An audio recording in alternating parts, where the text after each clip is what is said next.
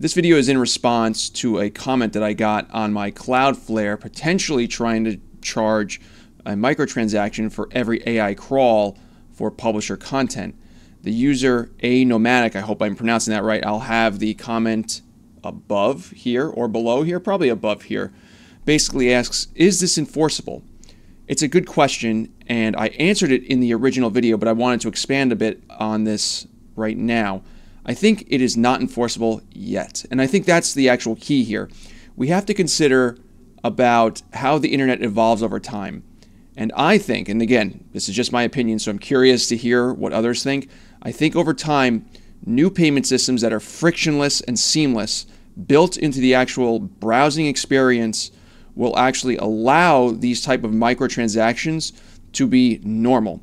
What do I mean by normal? I think in the next few years, we'll start to pan out about how microtransactions will actually uh, be implemented. And I think the implementation will be seamless. You will go to a website, you will try to read an article, and it will say something like, read this article for a fraction of a cent or multiple cents, whatever dollar denomination they want to do.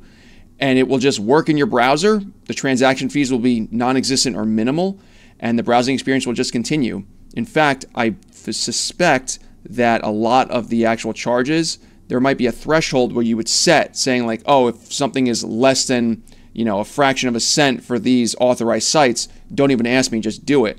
I think browsing is going to be in a much, much different uh, type of environment in the next few years. We'll see how it shakes out.